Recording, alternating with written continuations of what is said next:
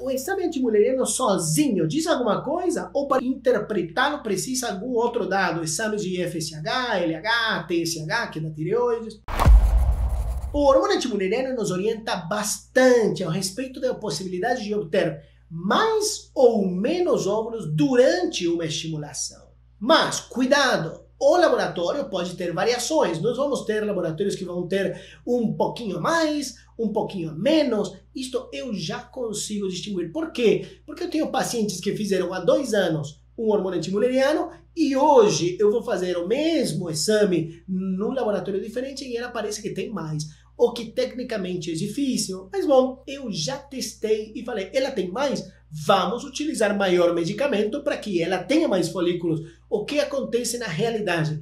Ela tem menos e realmente ela reage como se tivesse menos, que era o esperado. Então, laboratórios, eles podem sim ter variações dentro do ciclo da mesma paciente. Então, o ideal é, se você fizer, é fazer sempre na mesma fase do ciclo e também entre laboratórios você pode ter diferenças. Então, o 0,4 de hormônio antimuleriano da tua amiga que está no Paraíba é totalmente diferente da tua amiga que está em Campinas e da tua amiga que está em Brasília. Eles podem sim ser diferentes, não necessariamente o mesmo número significa mesmo resultado.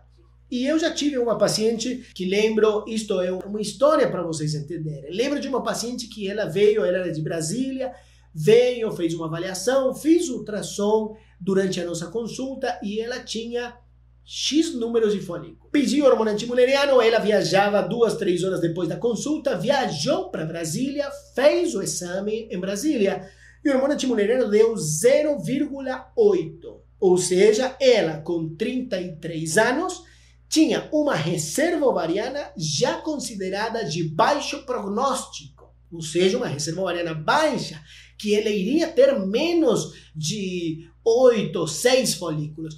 E o que aconteceu? Falou comigo, eu falei, olha, muito cuidado. Quando eu fiz teu, teu exame de ultrassom, eu vi 14 folículos. 14 folículos não está batendo esse resultado com o exame de sangue. Vamos confiar? Sim, acertei um pouquinho a dosagem, aumentei um pouquinho a dosagem para o que ela tinha. E o que nós conseguimos? Conseguimos 16 folículos na fertilização in vitro, dos quais 13 ou 14 foram óvulos maduros. Conseguimos uma gravidez super tranquilos que não correspondia com aquele hormônio antimuleriano de 0,8. Então, muito cuidado, o exame antimuleriano sozinho pode ser perigoso. Claro, doutor, mas eu tenho hormônio antimuleriano de 0,2. Será que ele está 10 vezes errado? Será que eu tenho 2 em vez de 0,2? Existe sim possibilidade de que erre uns 50%, de que seja, em vez de 0,8, seja 1,8, 100%. Mas quando a gente tem 0, pode estar errado? Pode estar errado, mas é muito difícil que ele esteja errado 10 vezes.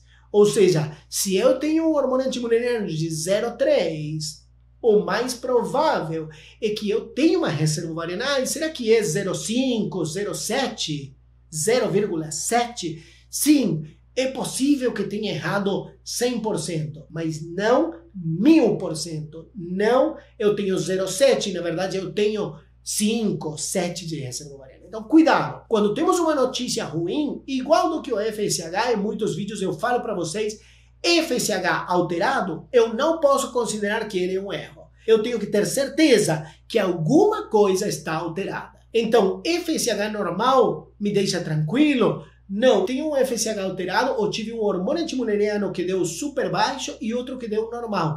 Eu posso, preciso me preocupar? Sim. Resultados alterados provavelmente são um sinal de que a gente tem alguma coisa alterada. Então temos que correr atrás temos que nos preocupar e provavelmente sim temos alterações.